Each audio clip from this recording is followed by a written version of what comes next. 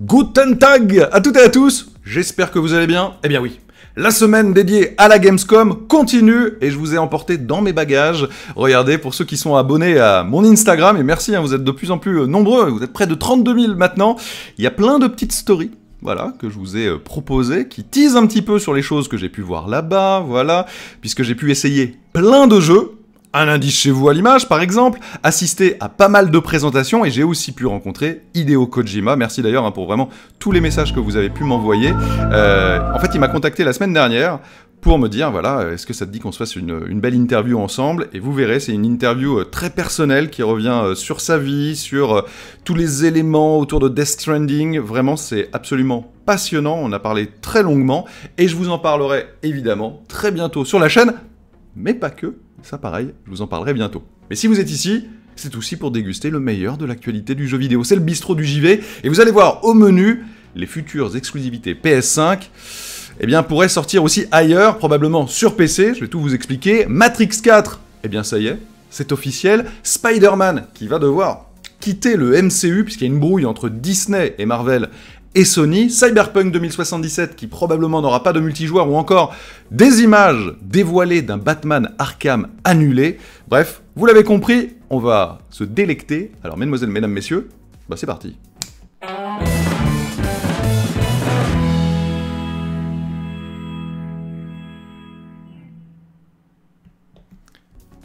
Lorsque Matrix est arrivé au cinéma, il y a maintenant plusieurs décennies, ça a été une véritable claque pour ma part, et je pense pour beaucoup parmi vous, surtout le premier, pour moi c'est une œuvre absolument visionnaire, euh, des Wachowski, eh bien, après de nombreuses rumeurs, de reboot, de films potentiellement centrés sur la jeunesse de Morpheus, eh bien regardez, c'est désormais officiel, oui, il y aura bien un Matrix 4, et il sera réalisé par Lana Wachowski, qui va l'écrire, et donc le réaliser, et le très breathtaking eh bien Keanu Reeves est de retour, dans le rôle de Neo donc, ainsi que Carrie Ann Moss, dans le rôle de Trinity. Alors la production, c'est pas énormément de choses encore, hein, mais elle devrait débuter courant de l'année 2020, et véritablement, je trouve, et c'est ce qu'il souligne, hein, que les thématiques de Matrix n'ont jamais été autant d'actualité, sont vraiment extrêmement modernes hein, sur euh, notre place dans la société, une société extrêmement connectée, sur le, les choses où il se passe énormément de choses qui peuvent avoir un impact profond sur nos vies,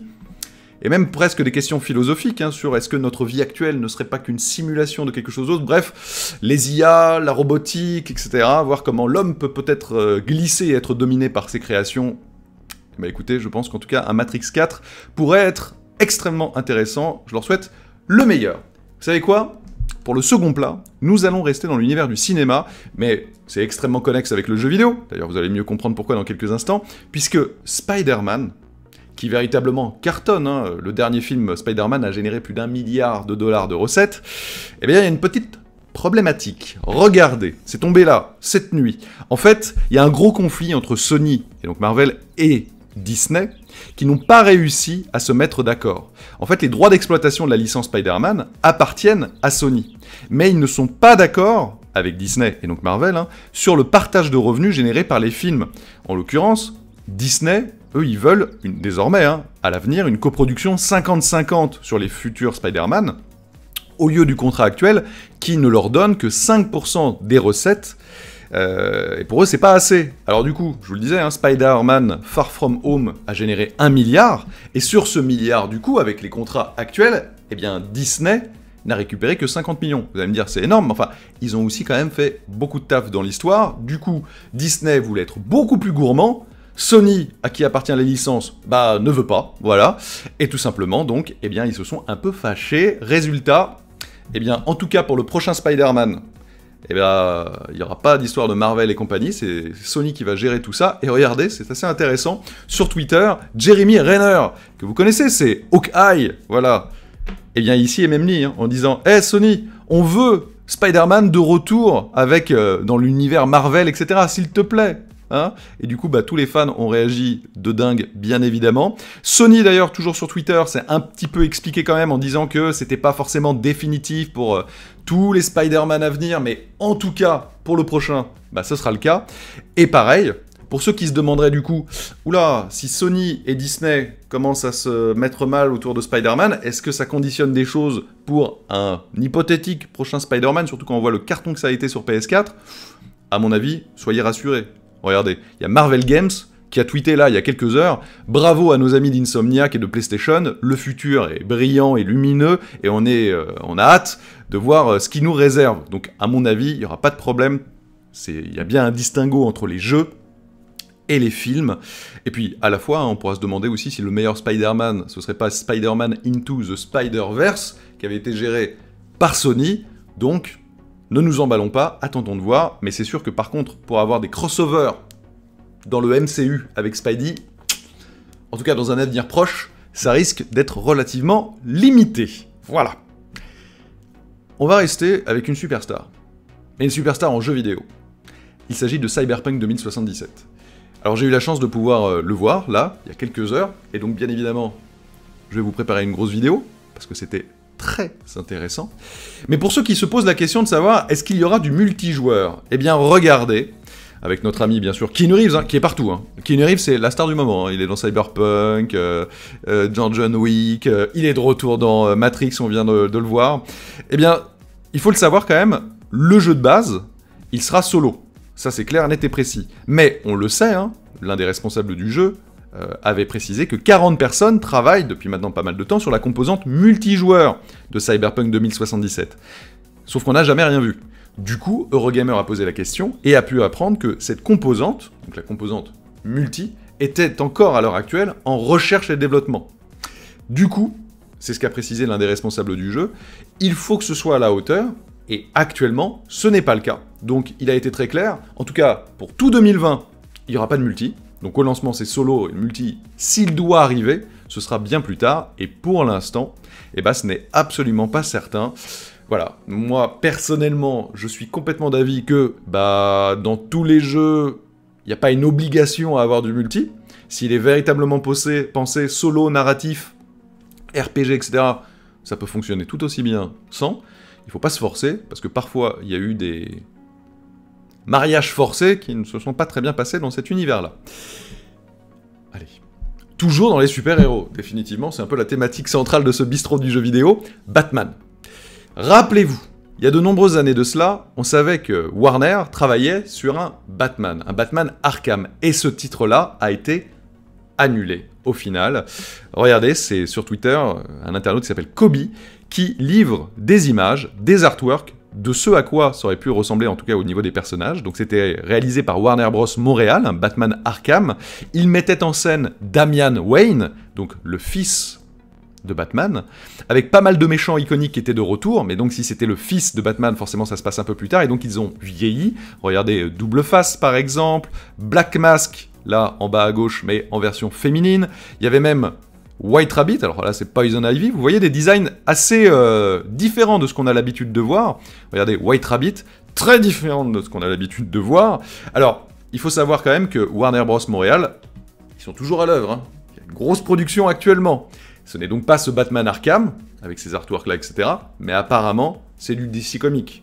Et les indications, les petites indiscrétions, certaines photos qui avaient popé ces derniers mois, par exemple juste avant le 3, quand même font pencher la balance du côté d'un nouveau Batman, mais centré sur, vous savez, l'histoire, l'arc narratif de la cour des hiboux. Voilà, qui est peut-être pas le plus connu, mais justement, quelque part, ce serait intéressant de voir un petit peu un traitement un petit peu différent et rafraîchissant.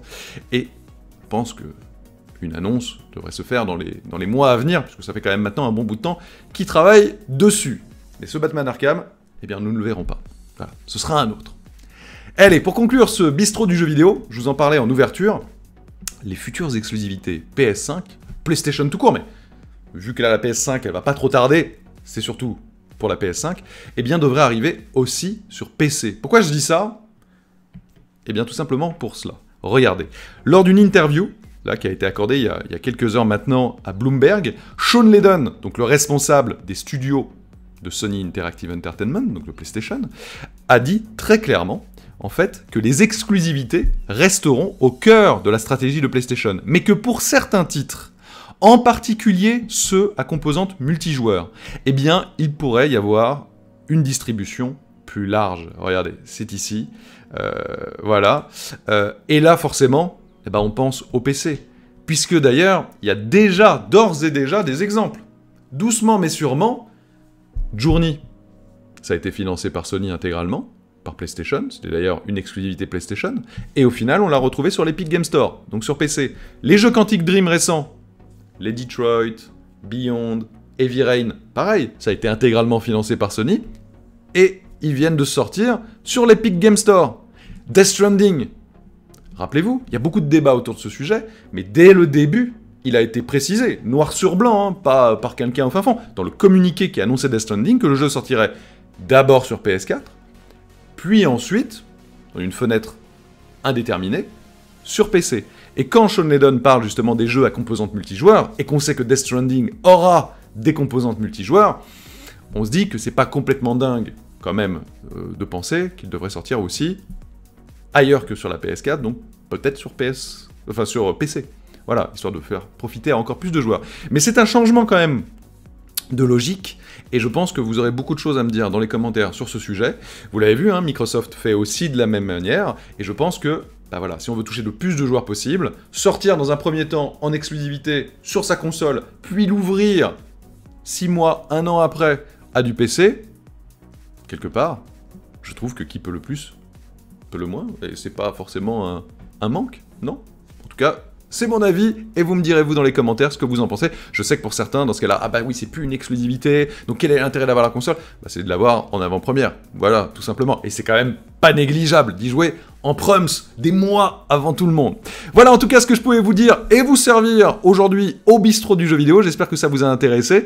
Donc restez bien connectés sur la chaîne hein, et aussi euh, à mon Instagram. Il y a plein de choses qui vont arriver et merci vraiment à toutes celles et tous ceux qui me font la fidélité de me suivre au quotidien. Merci vraiment aussi pour tous les messages que vous avez, euh, vous m'avez envoyés là ces dernières heures. Ça a été extrêmement adorable et donc l'interview de Hideo Kojima va arriver prochainement sur la chaîne, mais pas que. Je vous en reparlerai et vous verrez d'ailleurs l'interview. Ce sera de manière un petit peu particulière.